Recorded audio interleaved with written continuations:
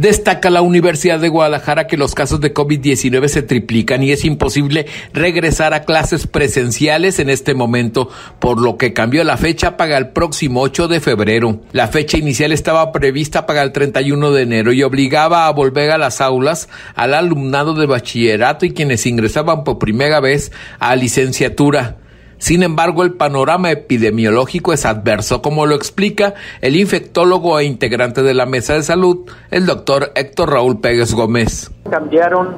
las cosas porque la intensidad de la pandemia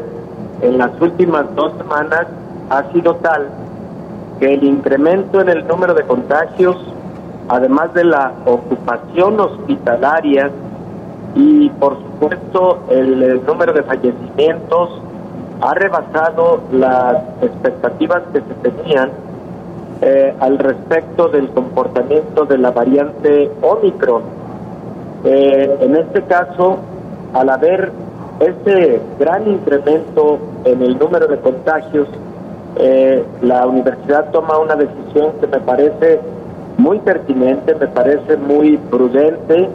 para evitar poner en mayor riesgo a su comunidad universitaria confirmó que los casos se han triplicado en su número en solo dos semanas y pasaron de 7.105 en la semana del 2 al 8 de enero a 21.973 en la semana del 16 al 22 de enero. Y luego reiteró que si nos descuidamos, este pico pudiera extenderse por unas semanas más. Es la voz del doctor Héctor Raúl Pérez Gómez. A mí me parece todavía muy pronto y muy aventurado decir que la pandemia en esta cuarta ola